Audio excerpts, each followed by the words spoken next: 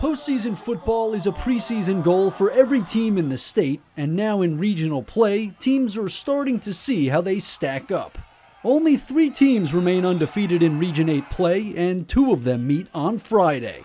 This week, the Muscle Shoals Trojans and the Athens Golden Eagles will battle it out in our game of the week.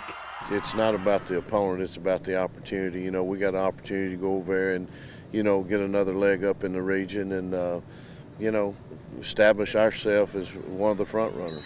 The winner of this game obviously, you know, has a, a leg up on everyone, but it, it's not the end of the world as far as the season goes. If you don't win this one, uh, big thing is you got to be one of those top four in the region, and um, that gives you a shot.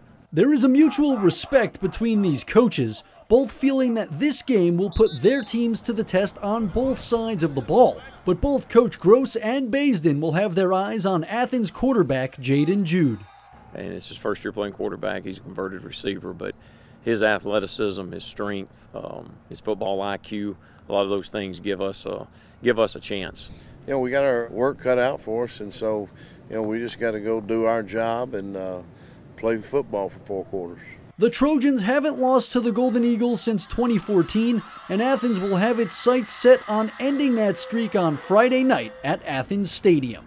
In Limestone County, Max Cohan, WAAY 31 Sports.